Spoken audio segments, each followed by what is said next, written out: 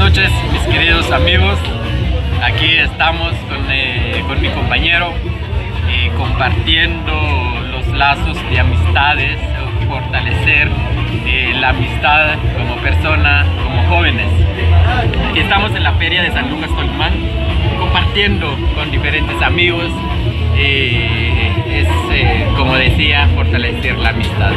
Quiero resaltar un punto sobre el tema de las ferias, sobre el tema de la celebrar o conmemorar una fecha, un personaje o un acontecimiento. En este caso, San Lucas Tolimán, el 18 de octubre, celebran su aniversario, podemos llamarlo así, un año más sobre, no sé, sobre, no sé.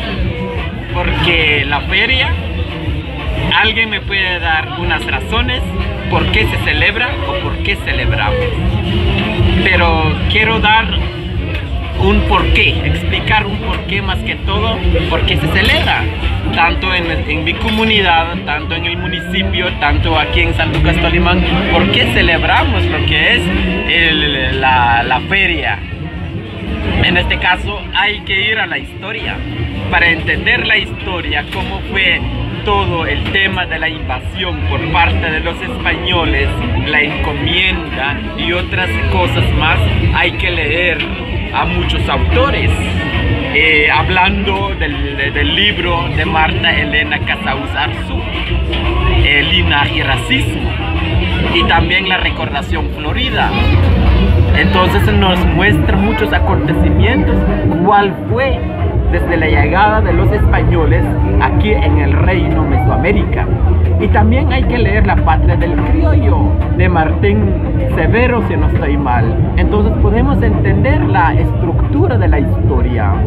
Y también hay que leer el libro Quiche Rebelde por el, del padre Ricardo Falla. Y hay que leer también un libro de la antropóloga francés eh, que es Perla Petrich. Entonces, entender de esa forma la historia. Cuando nosotros entendemos la historia, podemos comprender lo que pasa actualmente en nuestra comunidad. La causa, el por qué celebramos la fecha el 18 de octubre aquí en San Lucas Tolimán, feria. ¿Por qué se celebra?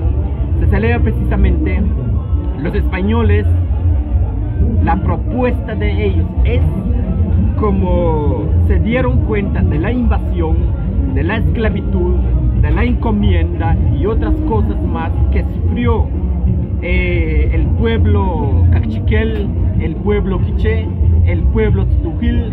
Entonces buscaron una estrategia como reemplazar lo que fue, reemplazar esa, esa, eh, eh, esa guerra esos prejuicios, ese dolor que dejó lo que es la invasión de los españoles. Entonces, tratar de unificar o recuperar esa identidad local.